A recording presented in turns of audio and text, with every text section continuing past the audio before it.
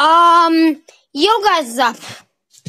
It is me, Hyena. Today I have to do something. Like I have to delete this mod. Now, if now there is two of them, but this one they I forgot to do something, and this one is complete.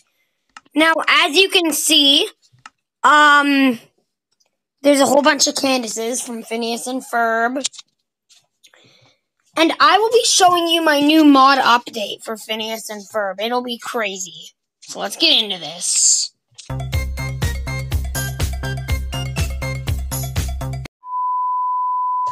So, we're going to the world. Now, there's two additional characters from this mod. You may or may not know them. You prob if you know the show Phineas and Ferb and you've watched it before, you'd know them. They're in every episode. But I have added, remember last number was not that much, just Phineas, Ferb, and Candace. Now I've added Dr. Doofenshmirtz.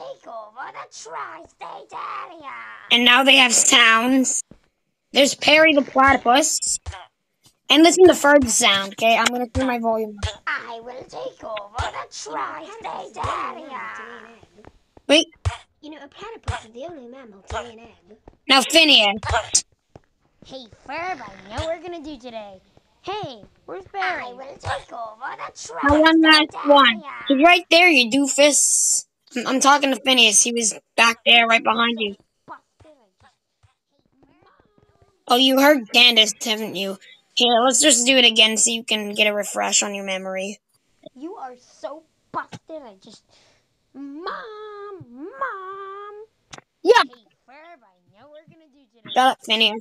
Anyway, that's my new mod. I'm gonna put all of them together. I'll put Doofenshmirtz last so Perry doesn't start beating up immediately. So hold on. Wait a minute, I know what to do. I can just get some barrier blocks. Be right back. Here they all are. Let's get Dr. Doofenshmirtz.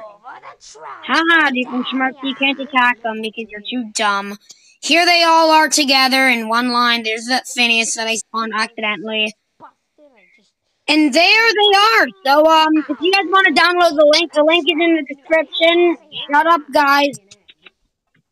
The link is in the description. I hope you enjoyed the video. See you later. Yeah, yeah, yeah. Bye.